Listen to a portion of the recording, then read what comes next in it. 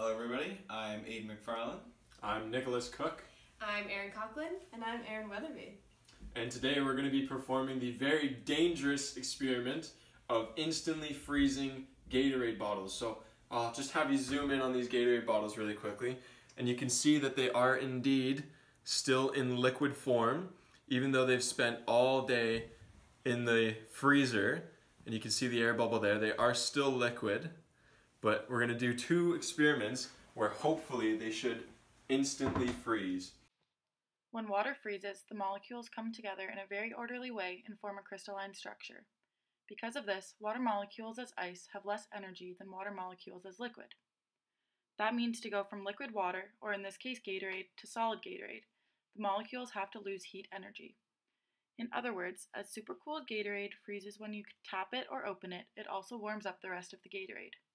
This heating may allow only 10 or 20% of the Gatorade to freeze, and that accounts for slush being in the bottle instead of it being a solid chunk. The formation of ice crystals happens very quickly, but heat flows slowly in Gatorade. What you just saw is called snap freezing.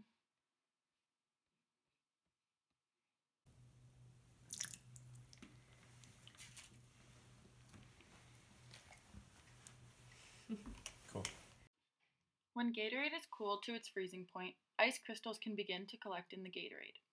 Like snowflakes, these crystals need something on which to grow, and they use microscopic impurities in the Gatorade or locations on the bottle to do just that. When an impurity, for example an ice crystal, is added to this supercooled Gatorade, it speeds up the crystallization process even more. As the supercooled Gatorade hits the ice cube nuclei in the bowl, the crystallization spreads up the stream of the Gatorade as it gets poured onto the pile. The latent heat that is released during the freezing process stops it from freezing solid. Dropping an ice cube directly down into a glass or just touching an ice cube to the surface of the Gatorade provides the nucleus needed for the supercooled Gatorade to freeze completely. Bill Nye the Science Guy. Bill Nye